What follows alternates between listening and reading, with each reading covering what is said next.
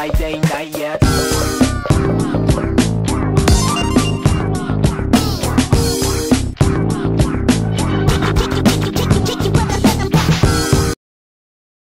Three, two, one, go! We did what you said, Mario. The Kickstarter sucked. The team's done. The game wasn't much popular than people thought, boyfriend. You think I don't know about the merchandise? Thank